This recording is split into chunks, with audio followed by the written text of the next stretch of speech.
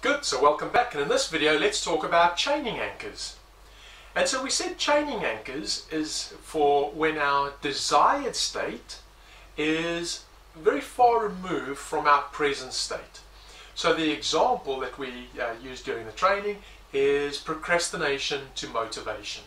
So the client is procrastinating and they would like to end up at motivation and essentially getting going on this thing that they might be procrastinating on. So you can identify the undesirable state. So example, procrastination. And we're going to identify the state that we want to end up in, which, for our example, we'll use motivation. Now we've got those, and we said that they're quite far apart or far removed from each other. Now we want to design the intermediate states. And so there's a few requirements that we have for the intermediate states. So we said there's some important things to consider when we actually design the chain.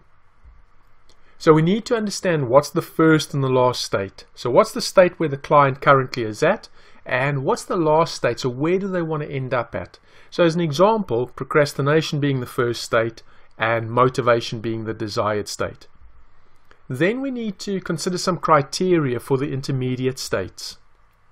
Now, the second state can be towards or away from. So towards what you want or away from what you don't want we said that the second to last state should be a towards state.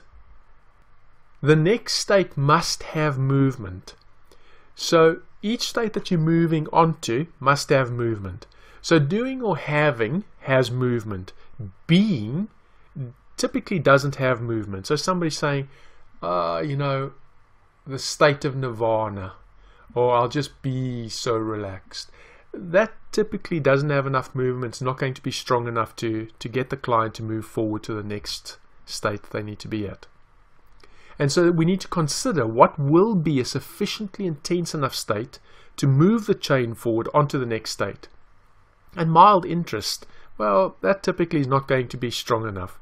I mean, have you ever been mildly interested in doing something and at the same time just not being motivated to do it? The state should also be self-initiated.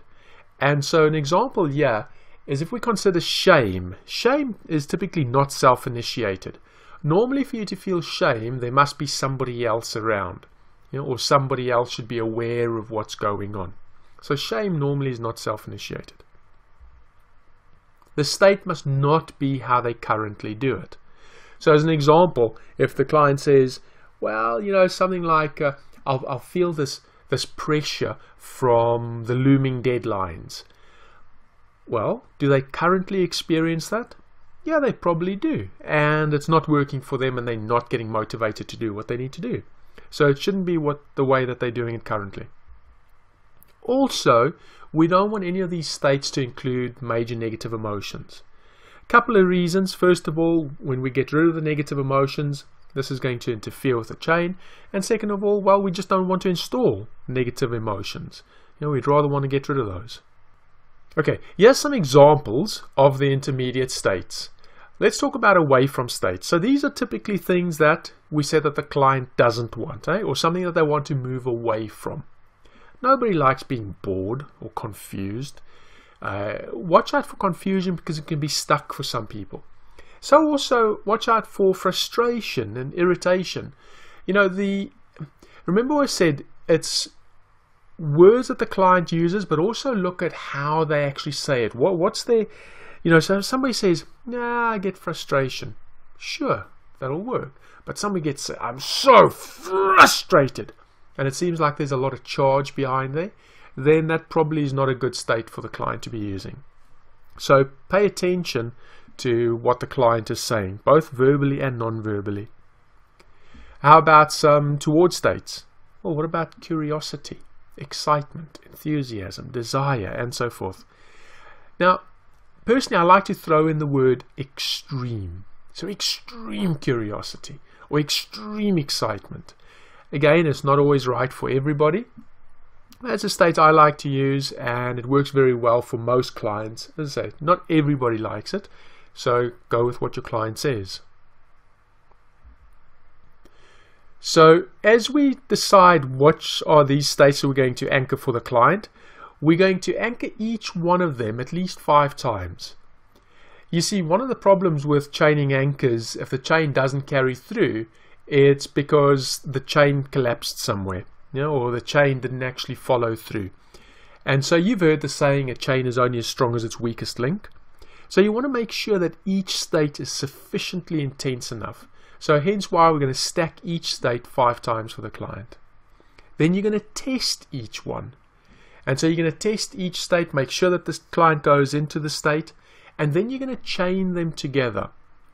So how do we chain them together? Again, you're going to see a live demo after this. But you're going to go from one state, and as soon as the client goes into that, you go to the next, then to the next, then to the next. So you're going to go from procrastination. As soon as the client peaks, you're going to fire intermediate state 1 whilst holding on to procrastination. And then you're going to release procrastination.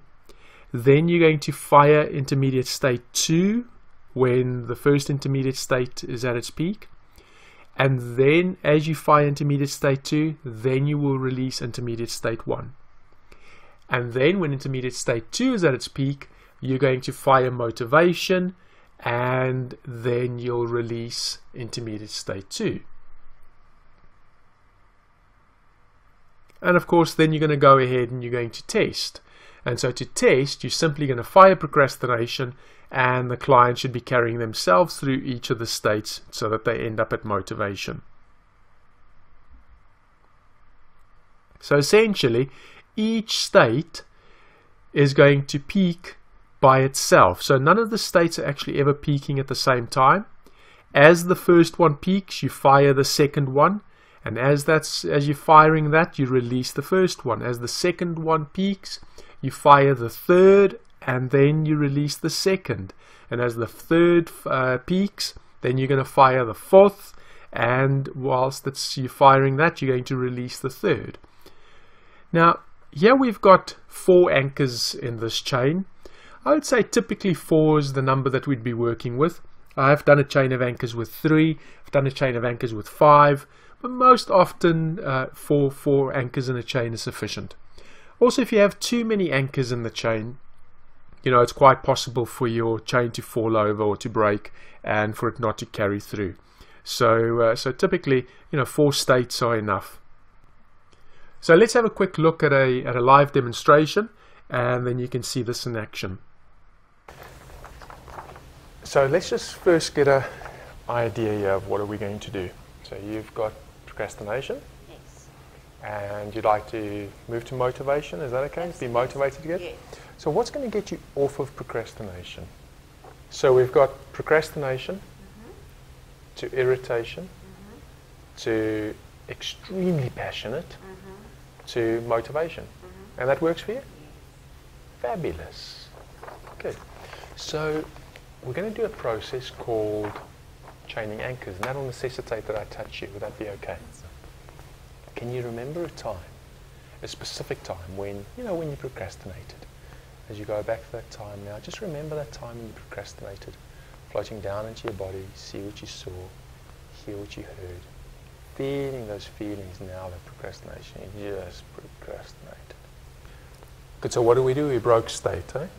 Okay. So can you remember a time when you felt irritated? As you go back that time now, see what you saw, hear what you heard, feeling those feelings, that irritation right now, feeling that irritation now. So, can you remember a time you're extremely passionate? Extremely passionate. You remember that time now, see what you saw, hear what you heard, feeling those feelings right now, that extreme passion. Can you remember a time you were totally motivated, totally motivated, totally motivated? As you float down into your body, see what you saw, hear what you heard, really feeling those feelings right now. Total motivation. Good for you. So, what have we done now? We have anchored each state. So, now we want to test each state. Is that fair? Okay, so now we have tested each individual state.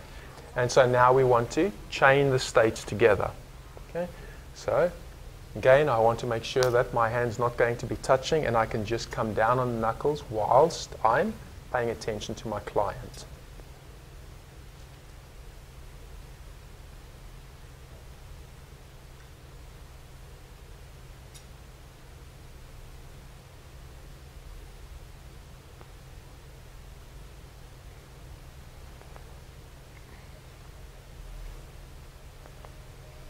Okay, yeah.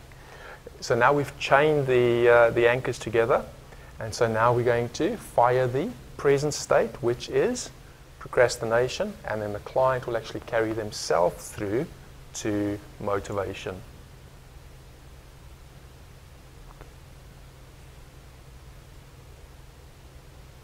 So let me ask you this. Now, how do you feel about procrastination?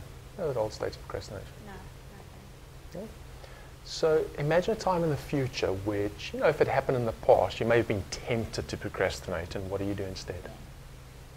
Now, what I'm going to do instead? Yeah. I'm going to get down there and get my passion and do it. Good for you. Good job.